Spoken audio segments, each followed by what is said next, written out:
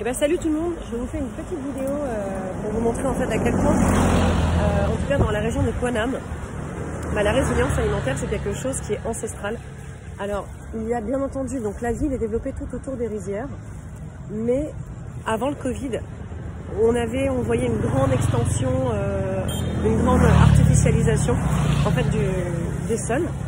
Et après le Covid, parce que les imports, l'activité touristique s'est calmée, eh bien, à mon plus grand étonnement, en revenant quatre ans plus tard, tout est transformé de manière, donc tout est en polyculture élevage. Donc on a les canards là-bas, les rizières.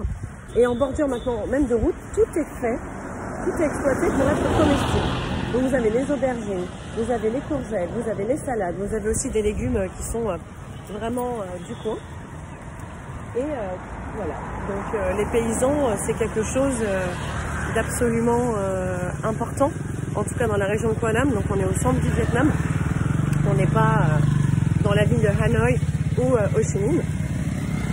Et donc, euh, si vous voulez, bah, toutes les terres donc, des rizières qui sont ici sont nationalisées. Donc l'État interdit la construction de quoi que ce soit dans ce type, dans ce type en fait de, de, terrain.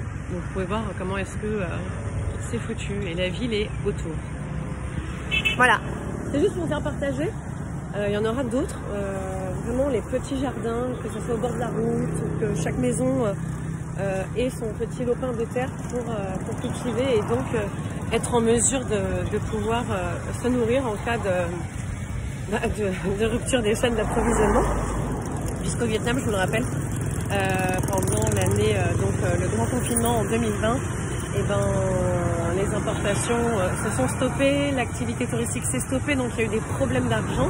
Ça a été alors à la fois euh, très solidaire, mais en même temps il y a eu énormément de problèmes puisque du jour au lendemain tous vos revenus sont coupés.